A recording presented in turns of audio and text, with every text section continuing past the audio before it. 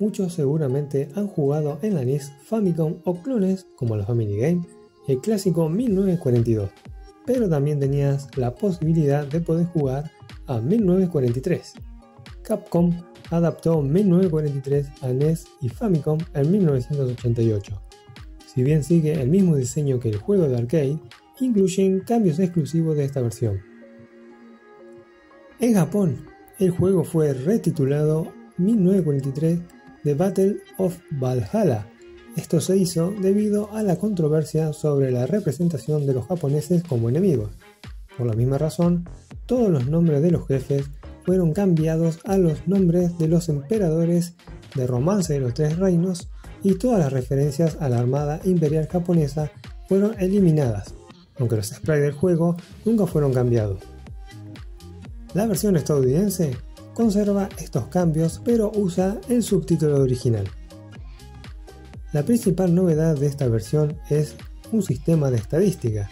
Antes de empezar el juego, el jugador recibe 3 puntos para distribuir en varios parámetros que afectan a la capacidad del avión. Al encontrar diferentes ítems en los escenarios, puedes obtener puntos adicionales para distribuir, por lo que aconsejo disparar a barcos e isla. Los parámetros son Poder ofensivo, que aumenta la potencia de fuego del barco.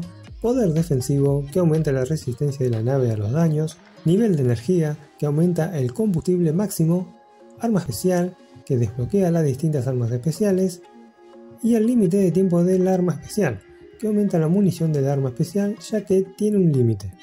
La versión de NES incluye todas las misiones de la versión arcade.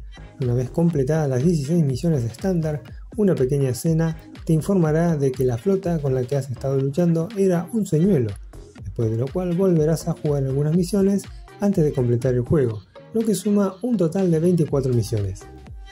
A tener en cuenta que aquí no perdemos si nos toca una bala como en el clásico 1942, sino que deberemos cuidar el combustible por lo que el ítem POW nos ayuda a mantenerlo, como también nos dará un arma si lo seguimos golpeando o si seguimos golpeando más nos dará más energía o combustible que el POW normal por decirlo de alguna manera. Eso sí, si los enemigos nos golpean con sus proyectiles nos irán sacando combustible o energía. Vamos a encontrarnos diferentes ítems, tantos armas especiales, para brindarles mayor potencia, para estirar el tiempo de las armas y también para prolongar el combustible. Bueno gente, espero que les haya gustado y será hasta la próxima.